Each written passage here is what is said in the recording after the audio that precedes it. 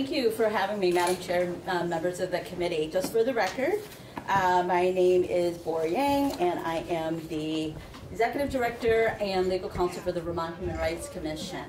And first, I'd like to introduce you to Amanda Garces, who was just in here. she is um, our newest Director of Policy, Education, and Outreach. And so she will be doing the lion's share. Amanda, I just introduced you. So. No, that's okay. She will actually be doing the lion's share of a lot of policy work over here. And of course, I'll still be around as well. Uh, we'll be working on that together. Um, so yeah, I just wanted to share that, this good news. And many of you may remember that Amanda's position was supported by the legislature last year. And so that was a really big push, and I really appreciate everybody who voted to make that happen. Thank you. Um, so, thank you for the opportunity to provide testimony today. Um, I thought that at first I should probably talk a little bit about the difference between the Human Rights Commission and um, the Attorney General's Office's Civil Rights Unit so that you know what we have jurisdiction over. So, um, our agency has jurisdiction over claims of discrimination in three primary areas housing, state government employment, and places of public accommodations. And so housing can be anything like someone uh, was denied housing because of a protected status, or neighbor on neighbor harassment because of a protected status, etc. Uh, places of public accommodations is a huge area, and that could include prisons, uh, roads, that also includes hospitals, schools, and basically any business that provides goods and services to the general public. And then state government employment. So for any state employee uh, who believes that they have a claim of discrimination, they would be filing a complaint at the Human Rights Commission. So Julio Thompson heads the Civil Rights Unit of the Attorney General's Office, and I'm sure you all are familiar with him. And they do all private employment as well as any municipality employment cases. Um, in addition to that, they have jurisdiction over the hate crimes, which is the statute that is being proposed here today. And so I am a big believer that anytime um, someone has jurisdiction over a statute, that they are probably the go-to entity and agency. And I think Julio would do the same whenever a bill comes up that impacts our statute as well. And so that's the first thing I'd like to say. The second thing I'd like to offer here is that H 496 was a bill that showed up in a letter of a concern last year from various constituents, many of whom are from protected categories or represent members of protected categories. And they had raised a concern about 496, uh, partly because of process and wanting to have input in that bill and how it comes about. And uh, partly because I think they said that the language was just fundamentally flawed. I was not a part of those conversations or a signatory to that letter, so I can't say entirely what the intent or motivation or all the concerns are, so I don't want to uh, represent what those are. Um, I would just say that this is probably a bill that should be more uh, reflective of the people and also as if you move forward to be mindful of the people that need to be heard on this bill. So that's probably really important. Um, the other thing is too that I'm not entirely sure that changing the word hate to the word bias really has a practical impact whether there is going whether it'll truly be applied in a different way i believe that the sponsor of this bill definitely had good intent and wanted there to be um, more of an open door but i'm not sure that in practice that there is a significant difference between the term bias motivated versus hate motivated. And again, I would refer you to the Attorney General's office's testimony on that bill. So, because they again have jurisdiction over it, and they'll know what was what would be included if we change it to bias. I'm not sure that I do know, so um, I want to be respectful of that. having said that, for what it's worth, so we neither support nor really uh, not support the bill. I just those were the concerns that the Human Rights Commission had, and also that if um, we're spending time and energy on a bill that may not necessarily translate to real practical changes for the people that are most vulnerable in Vermont. There are many bills right now that have been introduced that I think are those bills that do change people's lives. S 83 is one of those bills. That's a bill that seeks to uh, prohibit employers from punishing people who have filed complaints of discrimination. And one of the ways in which they punish those folks is they, during a settlement agreement, they will uh, include a clause um, or insist on a clause that prevents that employee from ever reapplying for work again. And that's very problematic at the state of Vermont because we employ about 7,000 or 8,000 people. Um, and also, state government is supposed to be one of the most inclusive places to work. Um, so if you prohibit, um, let's say, an African American person who has filed a complaint of discrimination from reapplying for work at the state, you're closing the door to a lot of places, and many times we've heard directly from people who have said, I just want to leave the state of Vermont. Um, and so that is a really important bill. Another really important bill also is um, H556, which is the gender neutral bathroom amendment bill.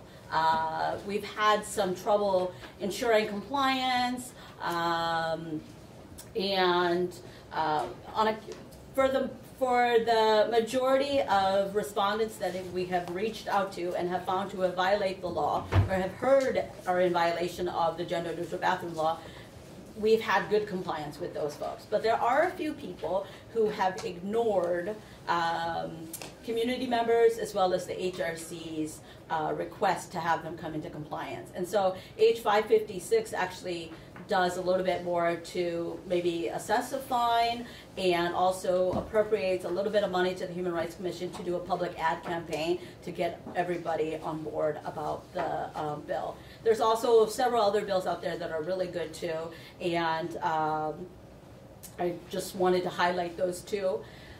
Uh, having said that, there are many states across the country that are doing some really interesting bias um, um, stuff. Um, Oregon is one of those. I think they recently revised their bias crime law to provide more clear guidance about data collection. They um, had a bill that was seeking to penalize people who made um, unnecessary 911 calls on um, people who are from protected categories, primarily white people calling on African Americans for sitting in a cafe or sitting in a, a, lounge at the college or barbecuing in a park. Those are the kinds of incidents that kind of um, triggered this, these types of bills. And I think something like that would be really interesting and could capture a lot of that bias stuff. Um, having some standardization around bias incident reporting would be potentially helpful, but that's something that the AG's office and the Human Rights Commission are committed to doing regardless whether there's a bill or not, but something that we can continue to have a conversation with all of you about as well. Um, so, yeah. Yes, please. Um, my question has to do with the difference between hate motivated and bias motivated. Um, you had mentioned that it wouldn't really create any practical changes. I was wondering if you feel that would apply to the police or the attorneys or both of them, or if you could just expand a bit more on that. Sure. Well, we um, both perhaps because we certainly know that the police have a lot of discretion when they're um, being called to respond to an incident. Uh, but also the prosecutors have a lot of discretion when they're deciding whether to charge an incident that comes from the police. And so um, it certainly could apply to both. I'm not sure that the I, I don't know if I can speak on behalf of the police, but I think as an attorney, I'm not sure that a crime that is motivated by bias is that much different from a crime that is motivated by, by hate. Um, I just don't know if it has a legal impact in the courtroom, too. Yeah. it might change the way the police look at crimes, but I can't speak on behalf of the police. I'm not sure. Yeah, to be honest. Um, A couple questions. Well, One is with respect to H four ninety-six, and if you have any input on, th- there's really two components to, to the bill. And I'm looking at section nine, which uh, creates a civil penalty and cause of action for violation of constitutional rights. And I don't know if you had a chance to look at that, if you have any input on that?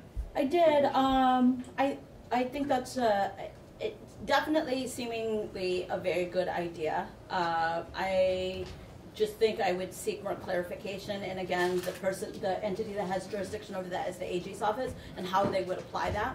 When um, what that comes to mind, or what that brings to mind, is obviously the incidents with um, the hate that happened with um, Kiah Morris, Representative, former Representative Kiah Morris, and that how, if we had had that, um, that could have been something that um, the Bennington Police or the um, prosecutors down there could have used to, to, to find um, the racist individual that who was harassing her in violation of.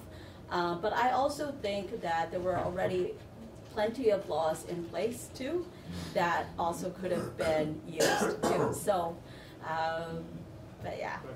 So, um, a couple of others, uh, one point I just wanted for clarification, and Yeah. then, then I had another question as well, is that, yeah, there, there was, this was shelved last year because of that letter, Letter. because of the pushback, and was hoping that over the off session, some people would get together and kind of understand what we should go with this.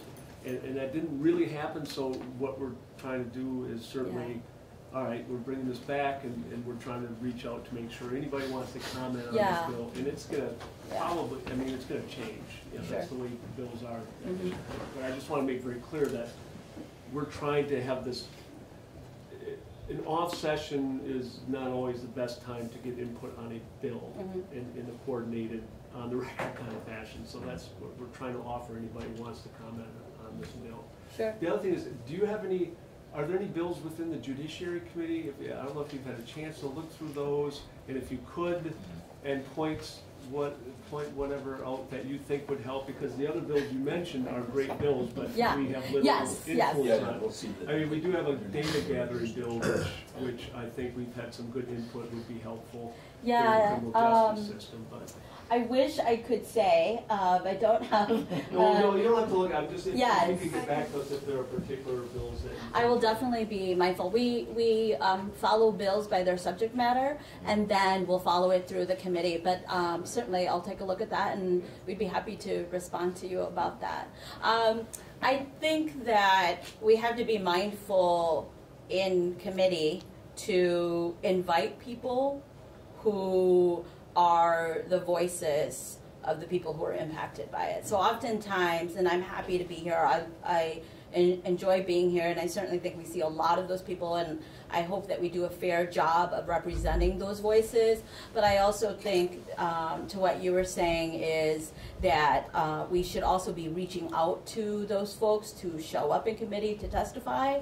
Um, one, because many of them are working full-time jobs, and they're not available from eight to four thirty when we're usually here doing, uh, taking testimony. And so, um, I would encourage you to invite those folks in here to testify as well, yeah. And if you are seeking, well, one, there's a list of names on the letter, but if you're seeking actually other people, then I certainly would be happy to see if I could provide some of those names as well, yes. Um, do you think this is a, well, I'm so, I'm sort of weighing the, like, um, what I heard you say, which is, and may, and maybe if the bill is amended, it, we can address some of your concerns about what it really does, you know, like if it does enough to merit spending a lot of time on it.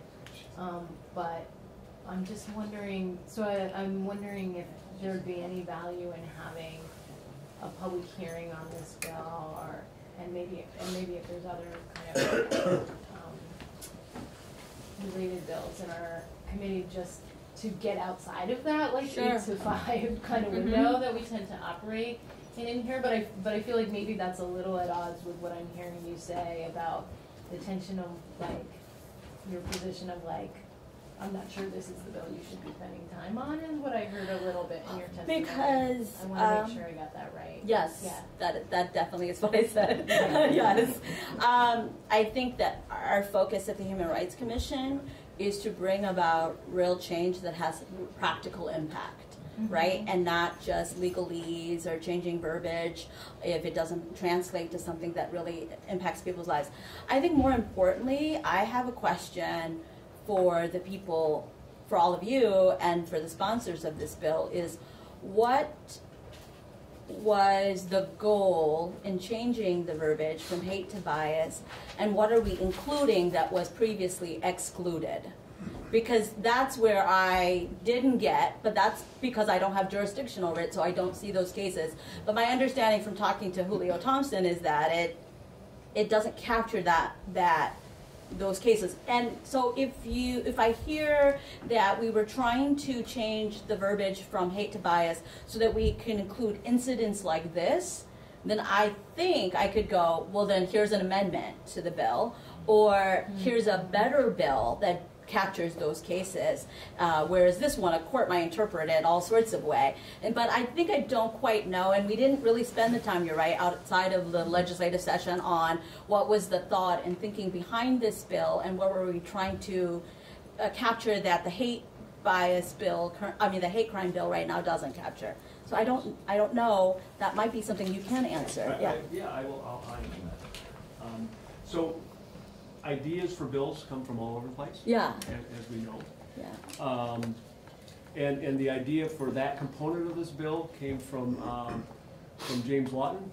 Yeah. uh, Kiah's husband. And, and I last, at the beginning of last session, I was talking to him a lot about what can we do given the Right, situation. And he had yeah. seen these changes in another state in the bill and Mhm. said, it sounds good to me, and, and so I put in a request for the bill.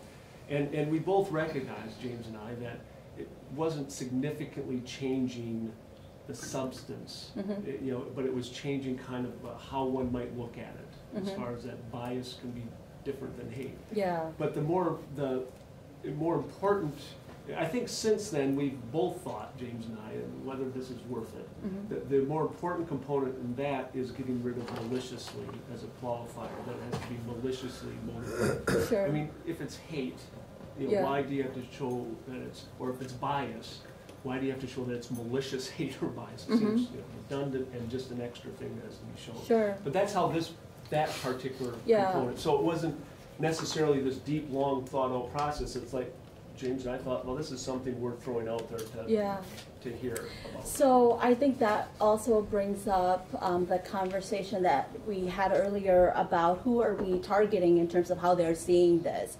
And so coming from a legal perspective, I don't think a judge would see the terminology differently.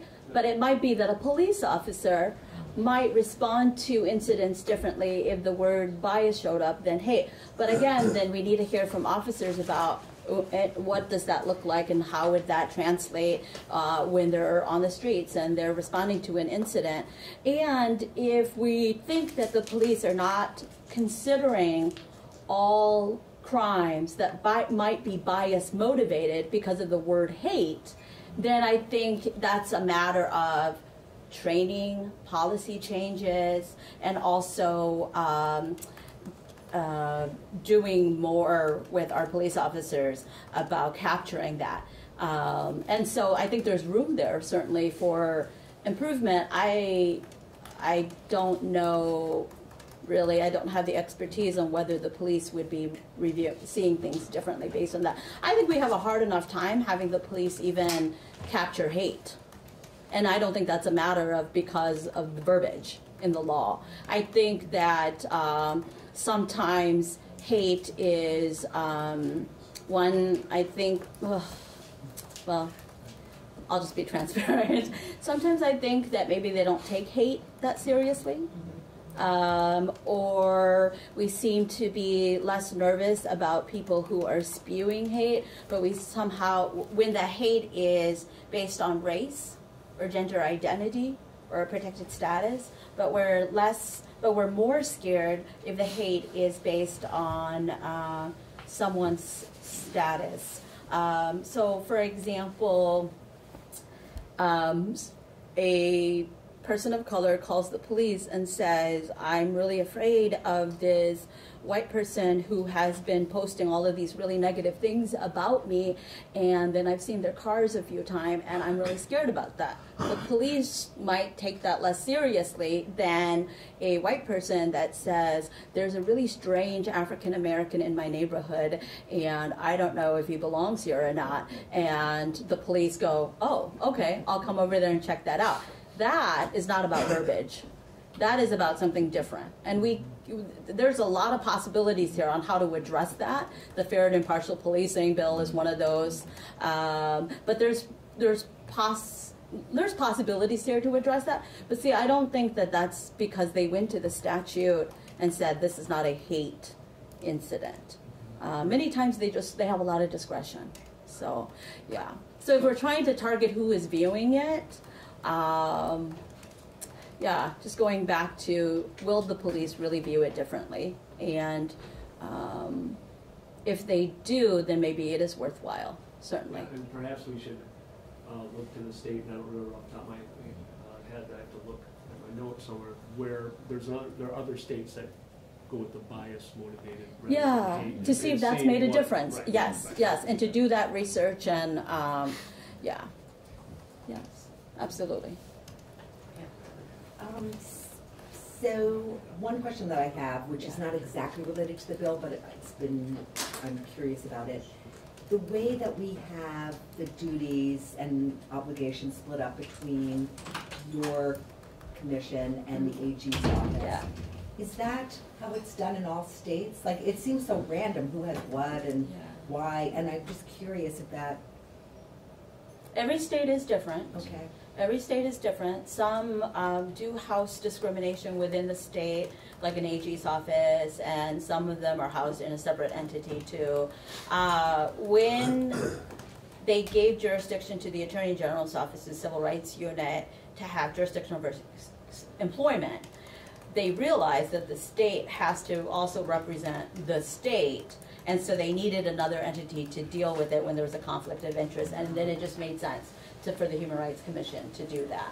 But could we have had a statute that says all employment discrimination cases are handled by the HRC? Sure.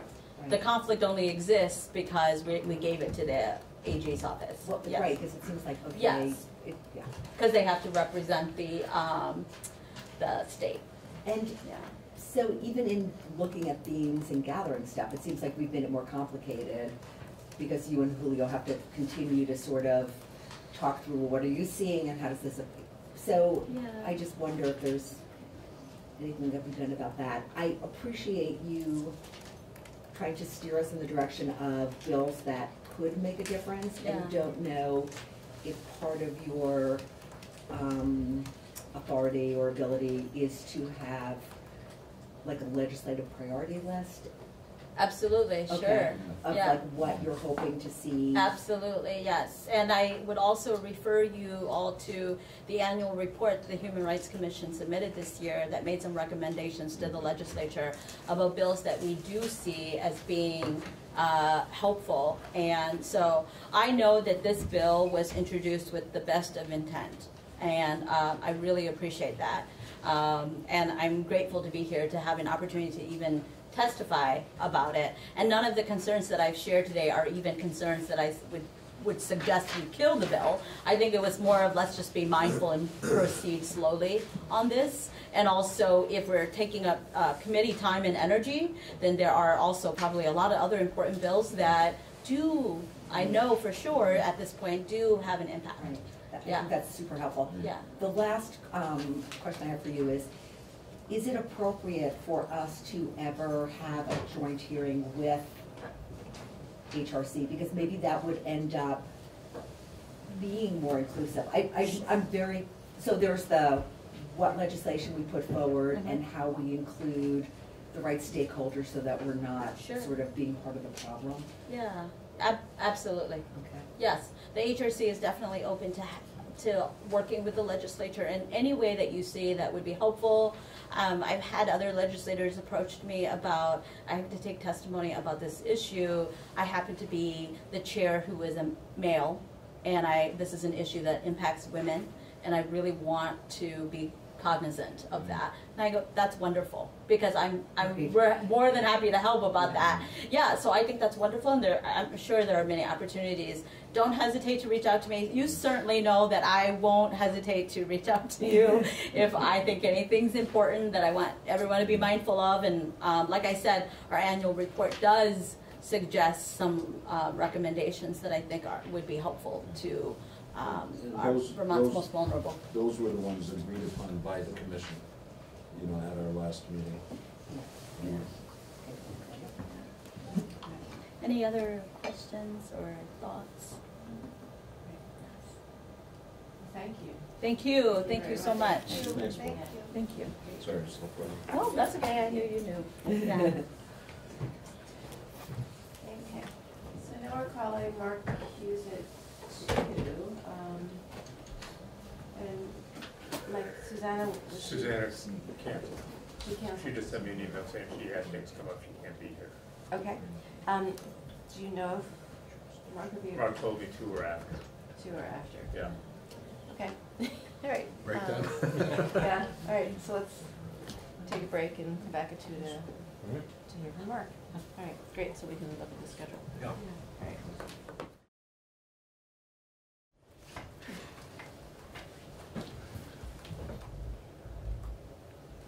Hello, Mark? Hi, Mark.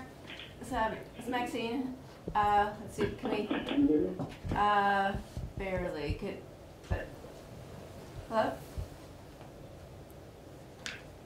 Hello? Hello? Mark?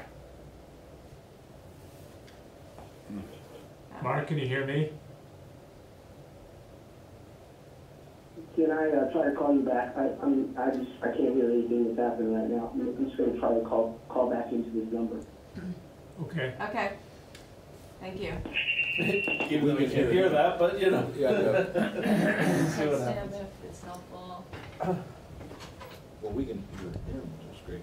I, I hate that when that happens, you know, you, you're on the call and you're using Bluetooth or something and you're just talking away and then all of a sudden you go. Hello? Hi, Mark. Is this better? Is this better? It is, it's kind of choppy though. Okay. Well, let's let's try it. um, hi, this is um, this is Maxine Grad. Welcome. Uh, we're here continuing our testimony on H four ninety six, and um, go ahead. Thank you. Thank you, and good afternoon, Madam Chair and House Judiciary Committee. Uh, for the record, Mark Hughes, uh, Coordinator, uh, for the Racial Justice Alliance. I'm sorry I couldn't be with you this afternoon. I woke up pretty sick this morning, and this is kind of the first time I've been sick for a while, so I don't really know how to handle this, but I think I'll make it. Well, we, we appreciate you calling in, and um, so Thank you. Yeah. So if I cough a little bit or something like that, I will try to hold it down. We are having an incredibly difficult time with the premise of H four ninety-six and uh, therefore unable to support it. Um, Unfortunately, I'm limited to what is probably less than maybe ten or fifteen minutes to unpack something that that took years to manufacture and has a direct adverse impact on uh, public safety of the entire state. With, uh, with broad strokes, uh, I'm able to trace the genesis of, of this policy uh, to uh, complaints.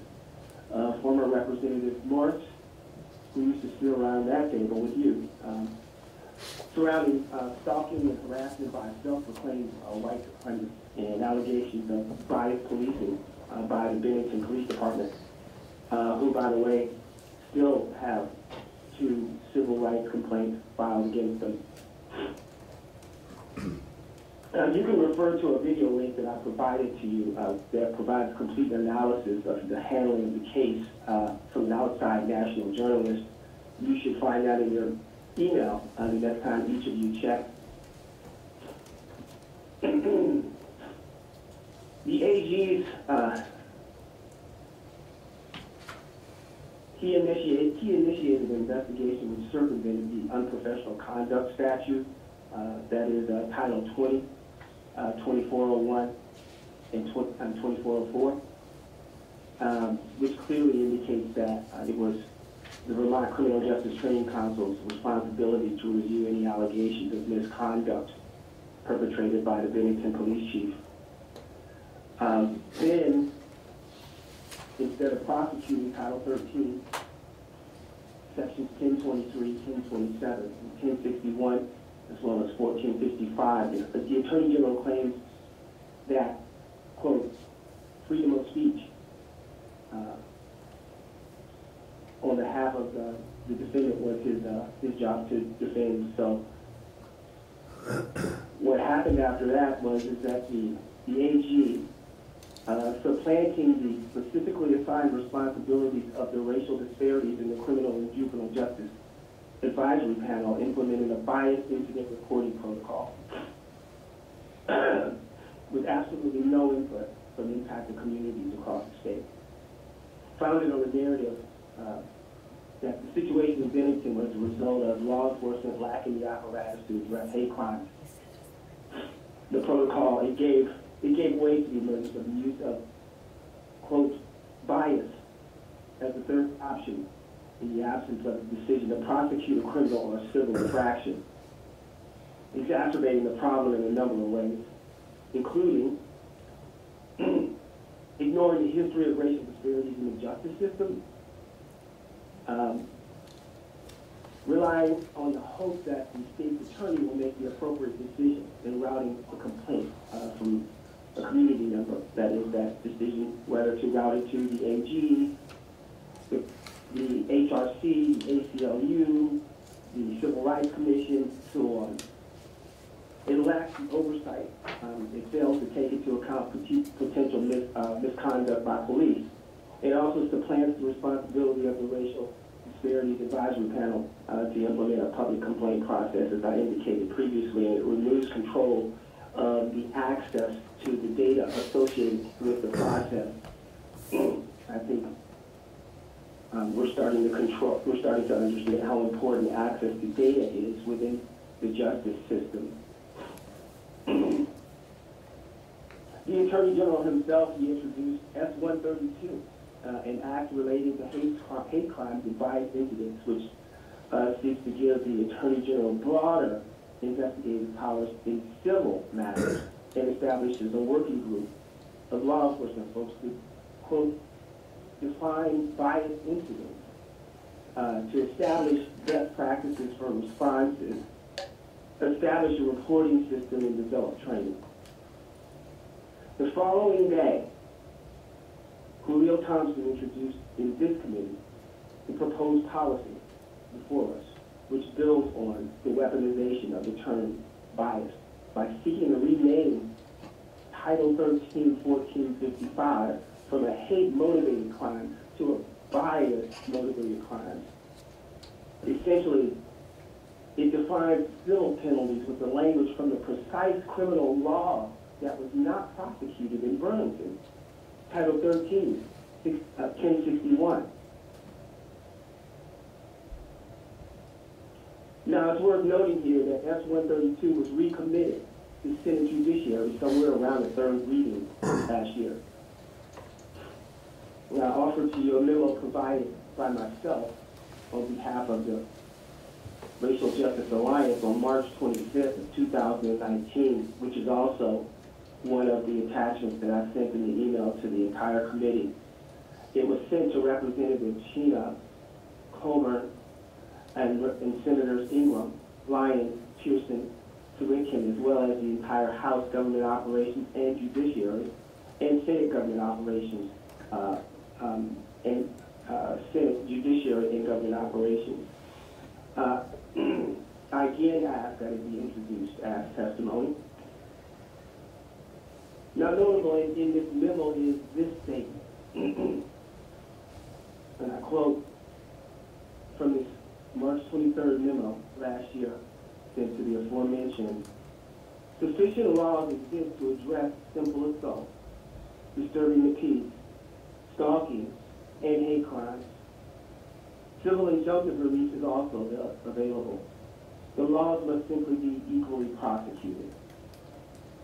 The amendment to S one thirty-two that was adopted on March nineteenth in two thousand nineteen removes section one, title 13, 1466 in its entirety. The removal of the pre-existing language in subsection A withdraws the Attorney General's ability to impose a civil penalty or injunctive relief. H four ninety-six in House Judiciary is proposing the use of language from Title 13, 1062 to create civil penalties and changing our long-standing hate crime statutes, Title 13, 1455, to a bias-motivated crime bill. None of this is helpful. In the quote. I'd like to also hear from record a memo from the group impacted, um, a group uh, of uh, impacted community members. Uh, they include uh, Steffen Gillom, the president of the Windham County NAACP, uh, Tabitha Pohl-Moore, the president of the Rutland NAACP, uh, Shawn Moyer, the founder of I Am Vermont 2, uh, Wei Wang uh, of the LGBTQIA Alliance Alliance of Vermont, Emily Freedom of Black Lives Matter Vermont, Wasiq Four, founder of Vermonters for Justice for um, Vermonters for Justice in Palestine, um, Chief Rich Holschuh, uh, I'm sorry about that name, Holschuh, uh, Commissioner, Vermont Commission on Native uh, American Affairs, Amanda Garces, founder of Vermont Coalition for Ethnic and Social Equity Studies and now Outreach and Policy Coordinator for the Vermont Human Rights Commission, Curtis Reed, uh, Director of Vermont Partnership for Fairness and Diversity, Don Stevens, uh, Chief Little Haven Band in Coosuk, Abenaki Nation, Shela Linton, the, the Root Social Justice Center, and Marita Canedo, Migrant Justice. Notable from this memo, which you should also have as a third attachment, is this paragraph, and I quote, Furthermore, while the creators of H 496 expressed good intent, we feel that the bill is fundamentally flawed in regards to its proposed verbiage. For instance, excuse me, the exchanging the words hate to violence places people of color and other marginalized groups at risk as it unbolts the door, letting those in power define and thus persecute based on majority perception of what constitutes bias. It's not uncommon nor unprecedented practice for the most potent bureaucratic structures to utilize gray language to promote their own agenda at the expense of the disenfranchised, thus crafting a weapon with no owner to be used by us or against us. End of quote. In closing, um, I am prepared to take questions, and um, I've got a, a couple of ideas uh, that I wanted to share with you just prior to that. Um, so the question really, because with all good intent, what we're trying to do is we're trying to protect vulnerable communities across Vermont. The challenge with uh, the relationship of African Americans, in particular, with to um, to uh, the law enforcement community and the justice system itself, our relationship, is that racial disparities don't just exist in the justice system as it pertains um, to our prosecution, but also our defense. And what we see here is this a very um, serious lemony snicket situation that is just un- unraveled in front of us. And, and it's unfortunate because it has created a distraction um, is uh, turned our attention from areas where we can be productive in protecting lives of those who are the most vulnerable. it's unfortunate because the justice system was left unchecked in Bennington. So when the representatives from Bennington and the senators from Bennington introduced these two bills at that time, in light of the, cir- the circumstances that were unraveling in, in. When the Attorney General introduced this so-called uh, bias incident reporting protocol, there should have been a fail-safe in the system that protect us, and we call that civilian oversight in law enforcement. So, so if not this, then what? You know, there are some things that the legislature can do to make us safer. This policy is not one of them. We're calling for the withdrawal, withdrawal uh, of the bias-related incident reporting protocol because it doesn't make us any safer. We didn't have anything to do with its construction, and you've heard all of the impacts that it has on us adversely. Um, just as we said, just as we asked last year, the memo dated 25th of March, we are yet calling for the withdrawal of H 496. Uh, as I said, S 132 has been recommitted uh, to uh, Judiciary Committee and Senate, and that was, uh, I believe it was right, right about, right about the time it was getting ready to go for a third reading. Uh, I, I think that the coordination of consultation with impacted communities um, is very important, and that's something that, that I think that the legislature should play a part in, or at least um, effectively oversee. We know that there was a mandate that was placed on the racial disparities in the criminal and juvenile justice system advisory panel uh, to interact with communities. so we've really yet to see that. Um, we also we, we also strongly recommend the continued expansion of the Human Rights Commission. Um, they are the apparatus that essentially protects every everyone in this state that's not a white a white cis man. Uh, we need to rely upon them and equip them accordingly. Uh, this none of this stuff is new. Um, just because what happened in Bennington happened just because there was a narrative that was created that would cause us to potentially look in the other direction doesn't mean that as a state for the last 243 years we haven't been equipped to deal with um, the things that we're dealing with right now. We just need to make the system that exists work. And when it doesn't, call it, call it into accountability. Mandate the use of force data collection, policy, and training. Um, uh, mandate use of force data collection policy and training. That would be H 464 on um, government operations law right now. I believe that has been taken up, and I do believe there will be further testimony as early as this upcoming Friday. We call on your support. Expand upon justice system data collection. You have on your wall, and I think a week ago began uh, discussing H 284 strongly urge the continuance of collection across the remainder of the justice system. Conduct public hearings for civilian oversight of law enforcement. Article 5 and 6 of the Constitution says you work for us, and uh, it also says that we hold law enforcement accountable through you. Rule 25 House rules state the government operation has that oversight authority. Um, it is our opinion that it, it must be um, in deep uh, collaboration with the Judiciary Committee if this occurs. Um, we've been calling for public hearings for civilian oversight of law enforcement for the last three years.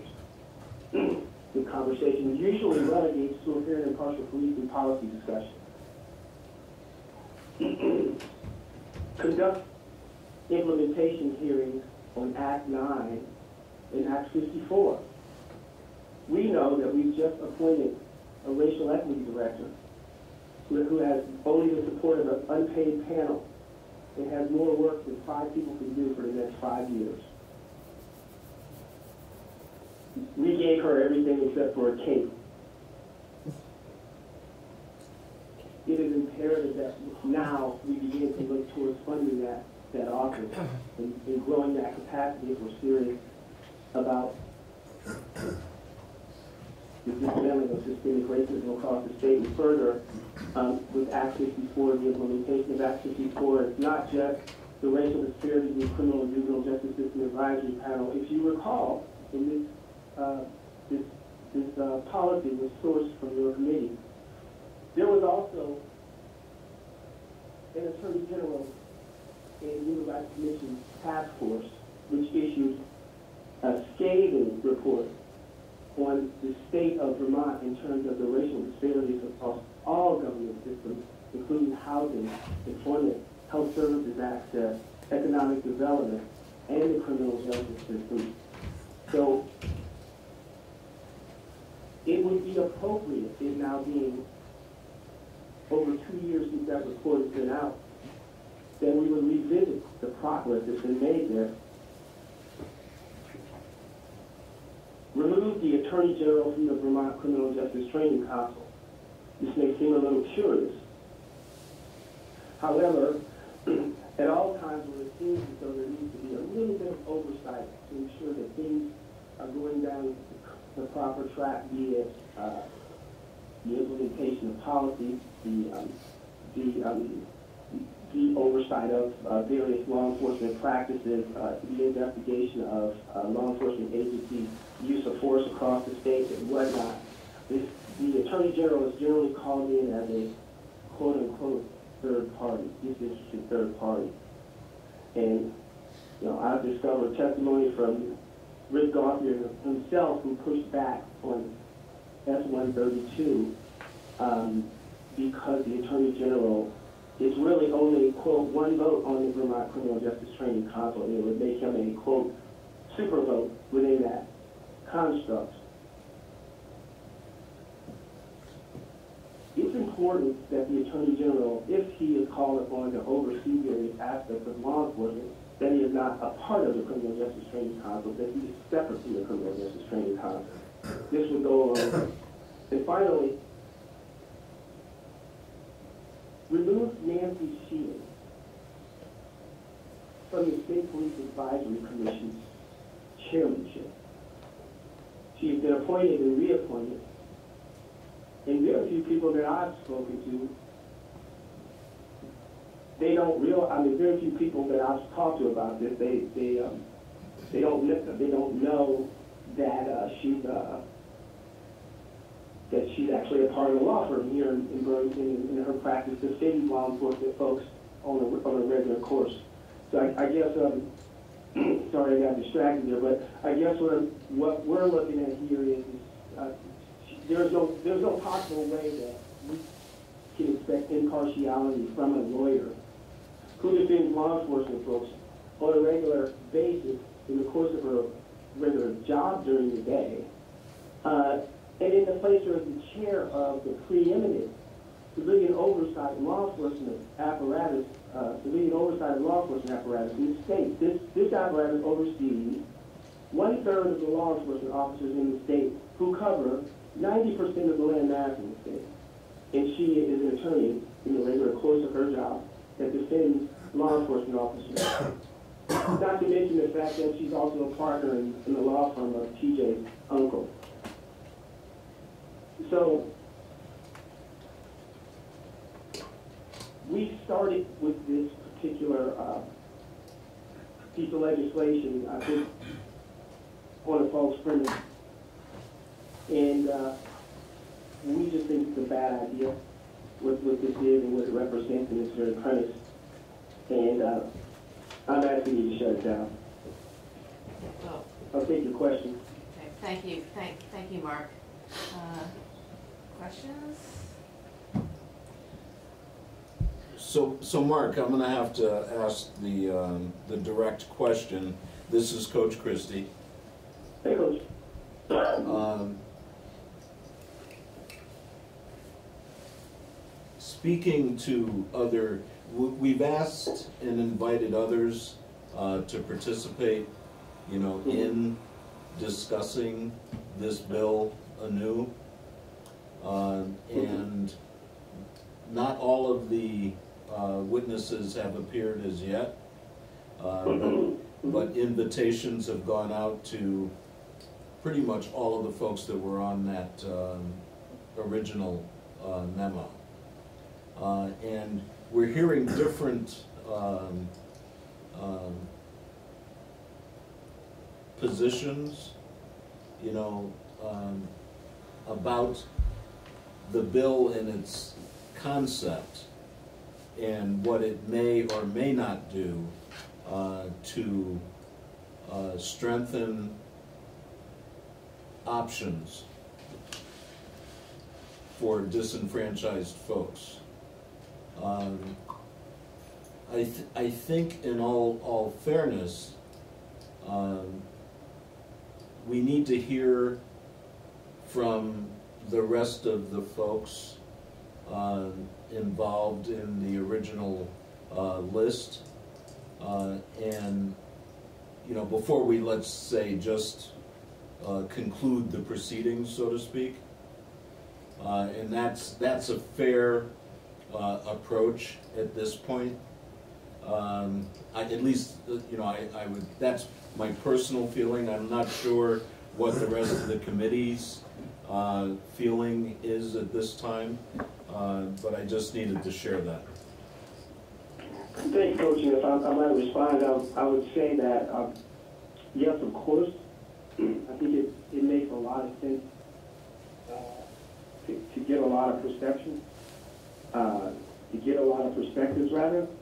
Um, and I think that, um, it's really important also to understand that, um, you should expect a lot of, um, uh, different, um, perspectives the, the, the message that I read to, to you, um, regarding the, um, the concerns about four sixty-four, um, where I quoted that, the, uh, words to the effect, the gray language, um, and I listed maybe about thirteen folks across the state. Um, the, the reason why I didn't sign off on that, that letter, and this just goes to speak to the differences in, in how, because we're not, we're not, you know, those are, vast majority of those folks were people of color, but we're still not a monolithic, uh, category. And just like any other piece of legislation that you would, uh, consider, you're gonna get different perspectives from different people. And I think, um, part of the constructs that we've been kind of painted into is quite often folks with political and economic power, that they often expect black and brown people to come and have this, this, you know, unprecedented level of, of consensus on various issues. Well, uh, we're no different than anyone else. So, as, as you know, um, you're going to get different responses. Uh, but what, what I was, you know, thankfully able to share with you as a result of just doing a little research is that those 13 folks are on record in opposition to this bill. Um, and I would invite you um, to, um, to call them back in and see if they changed their mind. Well, that's why this is a new round. You know, this isn't the old round of, uh, of testimony. And you're the third or fourth person that's uh, testified in this, you know, round. And requests have gone out to um, the folks. Um, So, well taken. I would, I would also add to that, and, and I, appreciate the, um, the opportunity to, to come back, uh, to this full circle is, that really, that's not the point at all.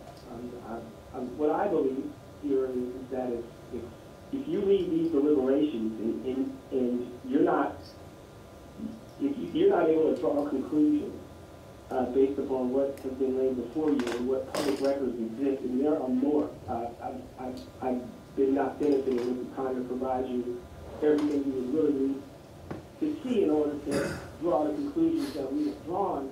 Uh, certainly, we've given you some homework there. Um, but uh, at the end of the deliberations here, if this does not become an oversight deliberation, then I, I think we have more problems here than we thought. Um, because at the end of the day, um, our communities are less are less safe today as a result of what has transpired in Bennington. Black and brown people in this state are less safe today. And white supremacists are more emboldened today as a result of this. So there's going to be some serious work done to protect brown bodies, you know, it's got to start here. So I'm glad this was uncovered. It was it was brilliant that this was uncovered. But I think what you're doing is pulling at a thread right now. Selena? Hi, Mark. It's Selena. I hope you feel better soon. And um, Good afternoon to you. hi. I just wanted to. I I I just want to um, reflect back to you what I am hearing. I think.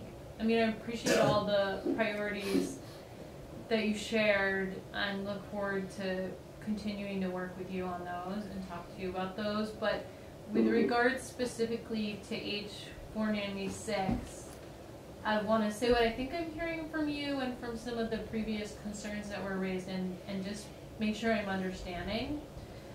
So it sounds like um, one of the concerns about this approach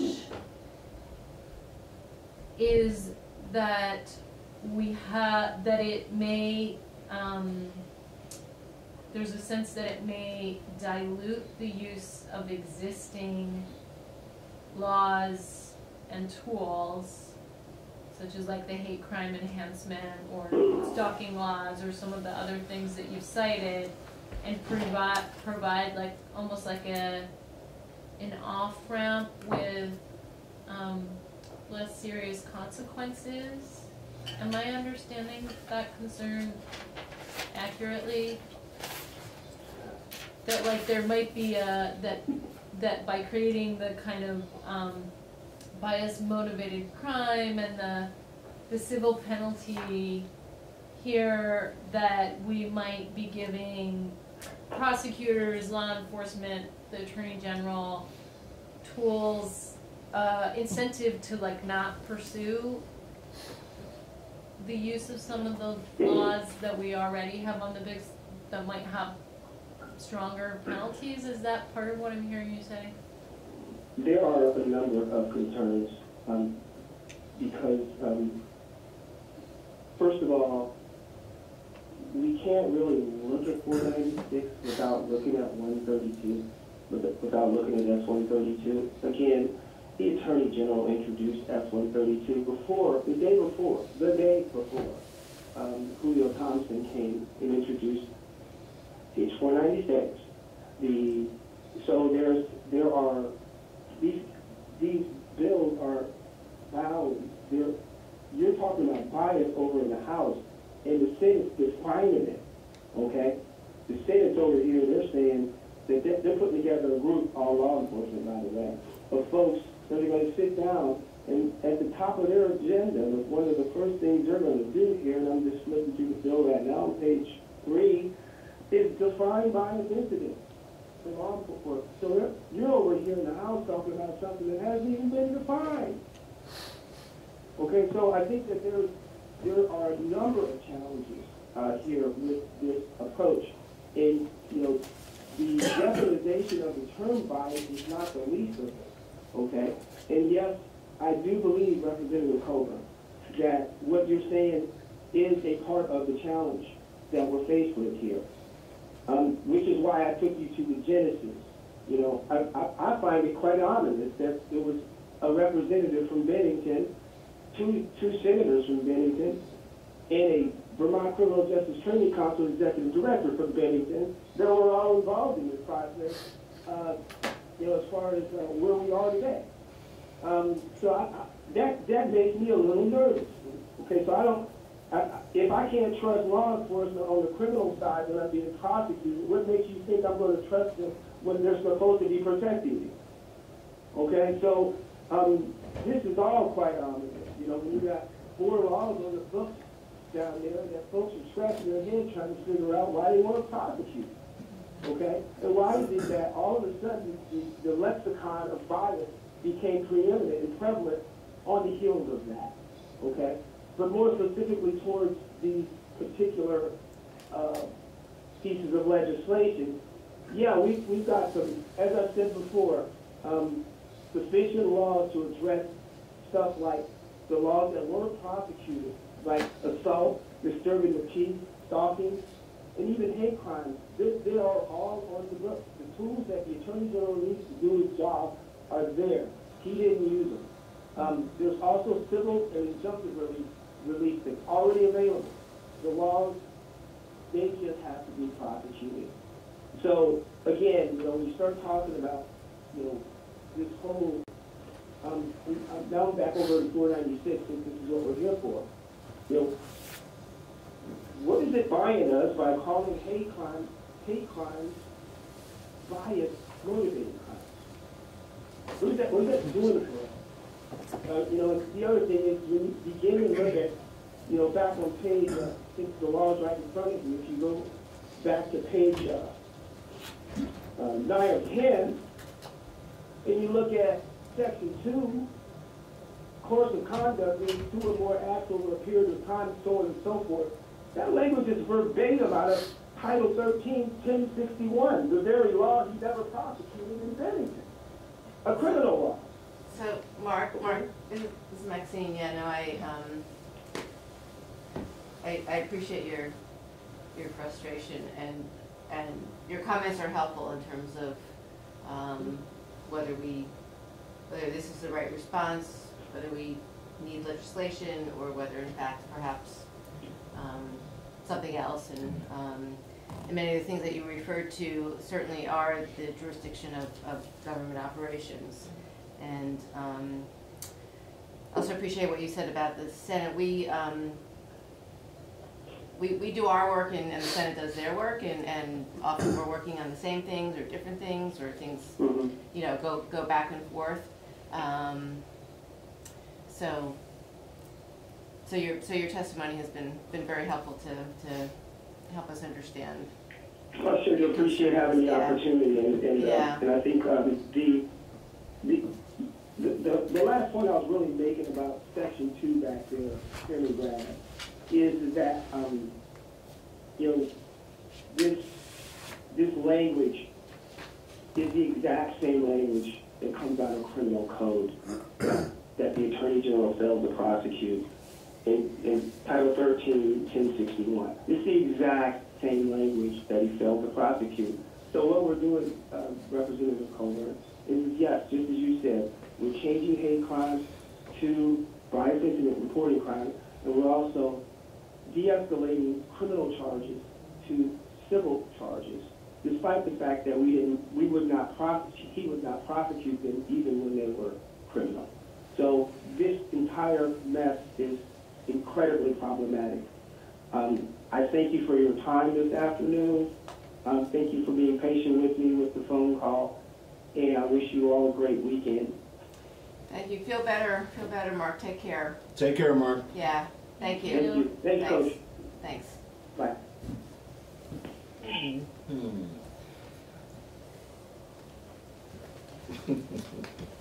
Um, anyways, I, I guess my, uh, I understand where he's coming from, and I think it's pretty clear, um, from his research and his perspective, um, where we should go with this. Or not go. Or not. Well, well, I think more of, about where we should go, because the, the should go part is hold people's feet to the fire that didn't get their feet held to the fire, you know, originally. Yeah. And, and that's, that's, that's Right, right. all he's ta- talking about. Um, You know, as far as the, the statutory uh, changes or potential for statutory changes, what we're looking at, you know, is still in question. You know, I, I think, you know, and hearing from the rest of those voices on that list, I think is, is very important. Um, You know, and from Kiah herself as well, uh, because she's offering testimony from that, you know, from that. And one of the things that, you know, we see even from, um, the HRC's perspective, when Bor offered her testimony, she spoke about that conflict or, um, between the two jurisdictions. Um, one being the AG's office and, you know, the HRC. So, I mean, some of these are inherent problems, and I think until we hear all of the pieces, it's hard to make a decision about anything. You know, it's like information, you know, if, if we stop here, that's all we got. But if we hear from the other voices that were on, you know, on the memo, basically, you know, now we will have an opportunity to balance that information. You know, because that's, that's kind of our job, know, without going to a hearing. Uh, hearing from this extravagant list of, of folks is just, you know, that's where the rubber hits the road. Was Bor on that, Hmm? was Bor on that memo? Uh, No. no. Okay, I, I would have guessed no, because she didn't, she wasn't nearly as strong against it, so Mm. that would have been my guess. Although I, I did hear her say some of the same things we heard Mark say, Mhm. which is, and I and it really made me wish I had asked her more of a follow-up question, which is actually, I mean, I heard her say pretty clearly, like, I think we do have a lot of tools in our existing law that Mhm. just weren't, weren't used in this particular situation and haven't always been used appropriately, and I just, I, I mean, I don't know, but plus, I could certainly follow up with her individually about that, but I wish I had Mm. asked that question more. And then I think it also, like I heard, they didn't share the same priorities, but I, I definitely heard, and I think if we do have more witnesses in, it would be good to explicitly ask, even if, even if some of the priorities they share aren't really the jurisdiction of our committee, like Mhm. that, that, that point was really well taken to me of just how much time are you gonna spend on this for what the change, what change it really affords versus what more effective, Mm. you know, strategies might, and pieces of legislation might be, and so it would be interesting to, as we hear from our witnesses, be really explicit about just kind of consistently asking that question. Yeah. And it would be great for us to look at that annual report Mhm. and see what their legislative platform was. Well, well, well, it is, it's, when you look at the, the bills specifically, a lot of them aren't in our jurisdiction. Right. Uh, There are a number of uh, bills that are. Um, Four ninety-six was not on the list of bills we reviewed. Uh, There were, let's see, two, four, six, Data bill and, ten, um, twelve, fourteen. There were about sixteen bills that we reviewed at the last meeting. Um, And see, four, four ninety-six, you know, was on the list. And, and as she said, she did, you know, we did not decide to, um, speak against it, um, as a commission, because it was a commission vote. Um, let's see. Three thirty-three and that's prohibiting discrimination based on an individual's criminal history. Um, you know, that, uh, we're good with. Uh, two eighty-four was a yes, and that's here. And those were the only, one, two, and S one thirty-two was. So, tho- those were the four judiciary bills. Hmm. She said she's gonna look at these. But the thing is, you know, she can't really speak without the, because she works for the commission. Sure, no, I understand.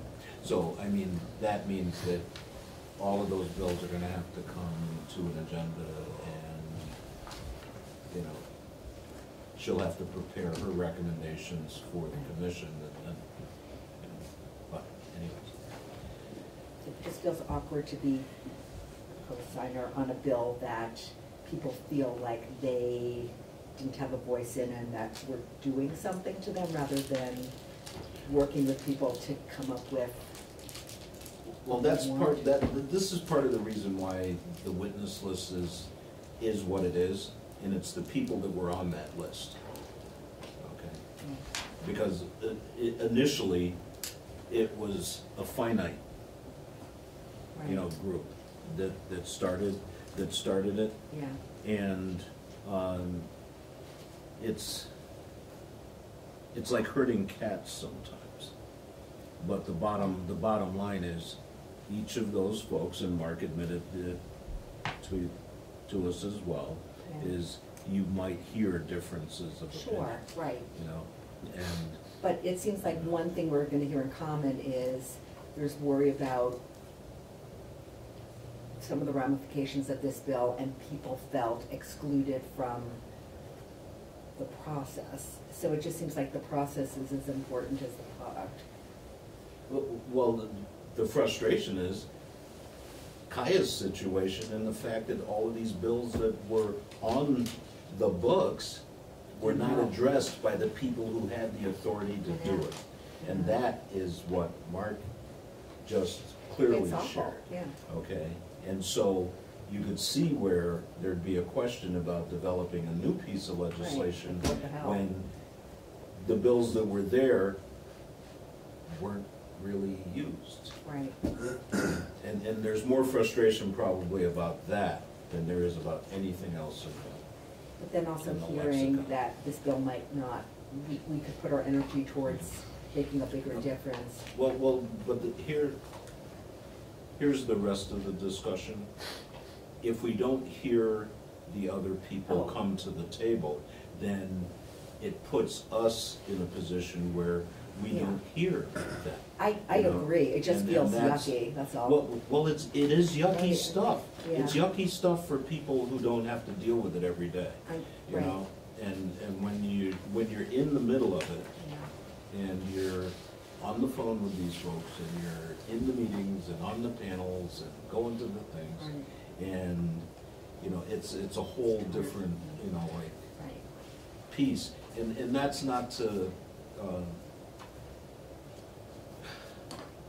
to short sell, you know, like the work of, you know, of our committee. What I'm hoping to achieve through us listening to all of these voices is to hear, you know? Because if, if this, if we stop this bill, you know, right this Right. minute, Yeah, then we won't hear the other people's perspective. Okay, Right. even, even if it's partially there, not there, right. there, whatever it might be. But I think in all, in all fairness to those folks that were on that, on that list, and, and that's where the witness list came from, basically, are the folks that are on that, you know, on that bill. So it'd be right to assume that we're probably gonna hear from one of the people. Did, did Kiah, like, did you get anything from Kiah? I've never heard from her. Yeah. I mean, I'm happy to give just a real quick idea of what we're gonna hear from Kiah, because I talked to her on the phone this afternoon. Um, That there are real problems with this bill, and that's great that we're hearing about those. That's, I still consider, yeah, I understand the concept of process, but I think there's as much a misunderstanding of how bills are introduced and, and what the bills are there for. I mean, it's to get a conversation going. This is the process. Right. Uh, I mean, in many cases, yeah, it's great if you have coordinated stakeholders who are coming together to come up Mhm. with, with an idea that we then run with. We do that, and I certainly do that. but in other situations when there's not coordinated stakeholders out there, you put something out and this kind of focuses attention. Uh, you know, th- I mean, th- and this was certainly never, has been meant to really be resolving anything, it's some Right. incremental changes, provide some things. In any event, yeah, and, and we'll hear directly from, I'm assuming that that'll be part of her written testimony, explaining what the issues are with this. But there are, and I agree with her, that there are, that she pointed out some very important issues that, for instance, uh, the big one is that a situation where somebody is being victimized by harassment, well, that harasser can turn this around and, and use this and sue the victim because the victim is uh, striking out against the exercise of my First Amendment rights to harass you. So I mean, this could actually be used as a tool uh, by a harasser, and I, you know, it makes sense. But she also said that there's an idea that this could be a vehicle for, and it actually wouldn't change it radically, uh, which is interesting, or not necessarily radically. Um, Where this, and it could resolve what Brenda's uh, issue is as well, or one of the things that uh, Brenda Chur- Churchill raised. uh, That this could be something that only, that a state's attorney or an attorney general can bring an action against somebody uh, for violation of somebody's constitutional rights. They already can kind of do this, but it gives them a civil option instead of a misdemeanor option or a criminal option. Right now, the criminal option is hate crimes and there's other threatening, there's stalking, there's all these kind of other things. And, and there is even a civil option in, in the discrimination that we have, but this would spell it out a little bit better. Uh, and, and by doing that, this couldn't be a tool used by a harasser unless the AG becomes somebody who harasses people. Um, and you could put in here as a civil remedy, uh, referral to restorative justice. So I think that's worth pursuing, maybe in, in this as a vehicle. I don't know as hmm. far as timing, if we let everybody else come out and throw their eggs against this one Right. first, and then come out with something that, well, here's an alternative that hopefully addresses Well- that- some of these issues. that's part of the process, you know, and I guess for, for us, there's still that question that, you know, it, it's like an open sore, basically, and it, it isn't so much this bill, you know, as it's the incident. You know, people have not, you know, they've not healed from that whatsoever. You know, it's as, it's as open to wound as, as you can get. You know, it hasn't scabbed over.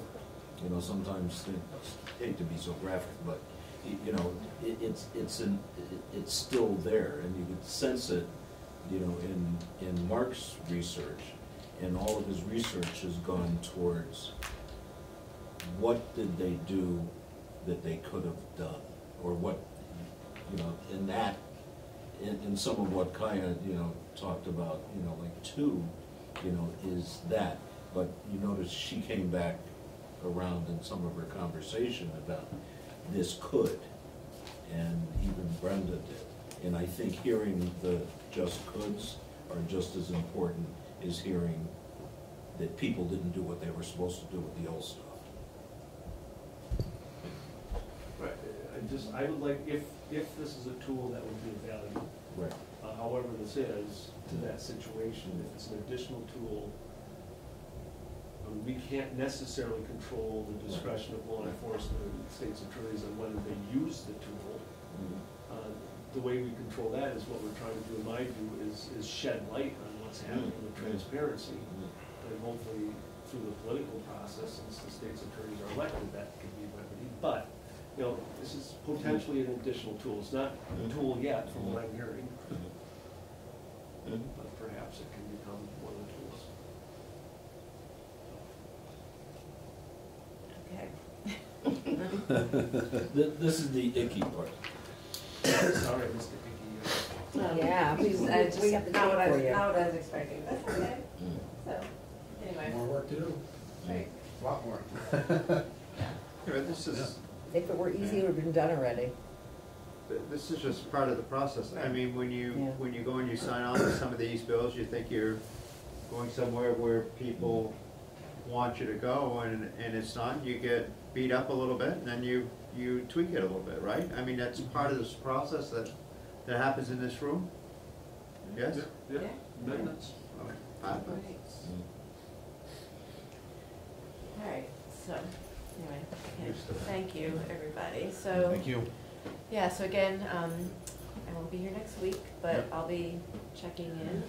Miss you. Uh, Thank you, and So, the town will be your chair, and Yeah, and just so everybody knows, um, if you can be here for nine thirty Yeah. on Tuesday morning, um, it's the, uh, Martin Luther Day, uh, Martin Luther King Day commemoration that, um, Chief Justice Reiber comes in with a guest, and this year it's the Honorable Anna Blackburne-Rigsby, uh, Chief Judge, District of Columbia Court of Appeals, and, um, and she's coming in just to talk about, I, I believe, her take on, uh, Martin Luther King and what it's all about. so nine thirty on so, Tuesday. yeah, thank you for mentioning that, yeah, Yeah.